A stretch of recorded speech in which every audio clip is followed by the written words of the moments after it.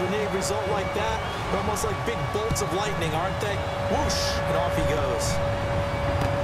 This fielded a few yards into the end zone. The Red Sea parts, and there he goes. He's at the 30, 10, and they will score. It's a 49er touchdown.